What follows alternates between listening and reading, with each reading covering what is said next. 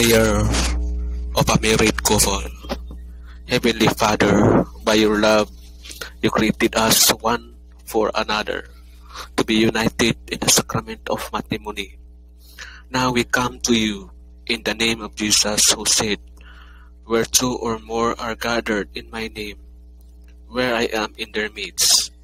Bless our life together that by our fidelity and love for each other, we may be in witness of Christ, your Son. Bless our children as we pray for the aggressed, for to be loving and good parents to them. You willed us to be united that we may know how to manage material blessings, so that then we will help those in need. They will see only your providence in times of need. Teach us to be humble so that we may know how to admit and share even this that humiliates us. Keep us enlightened so that we may see others, our relatives, our friends, and all those that you sent us, not as loads that can burden us, but as souls that need to be nourished.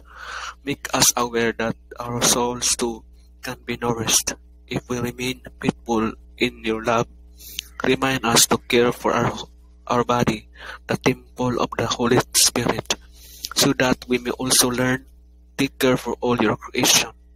Teach us to be simple and modest, so that our home and our family may reflect the Trinitarian life in the little holy house of Nazareth.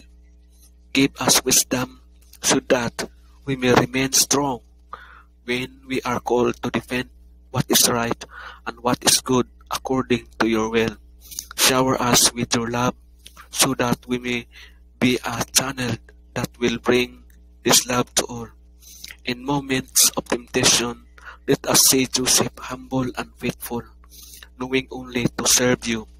In moments of sorrow and despair, let us say Mary at the foot of the cross, desolate but even obedient.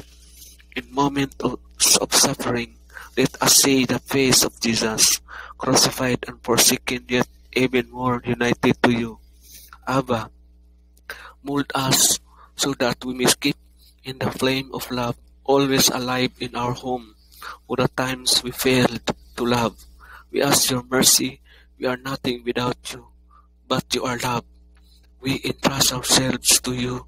Help us, we pray that we may be victorious in our desire to keep even alive the presence of Jesus in our midst. Amen.